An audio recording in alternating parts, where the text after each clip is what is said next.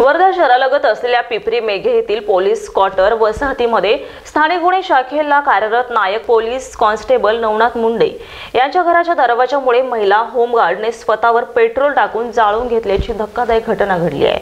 आत्महत्येचं नेमकं कारण कळू शकलं नाही.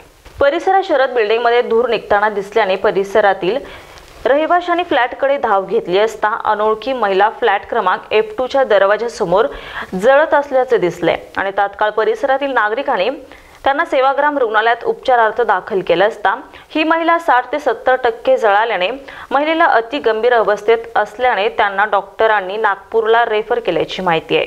घटनास्थळी पोलीस दाखल झाले असून पंचनामा सुरू आहे. तसेच घटनास्थळाला पोलीस अधीक्षक ॲडिशनल एस पी तसेच उपविभागीय पोलीस अधिकारी यांनी घटनास्थळाला भेट दिली असून अधिक तपास रामनगर पोलीस निरीक्षक करीत आहेत. Nilesh Pinjarkar Star Maharashtra news Wardha.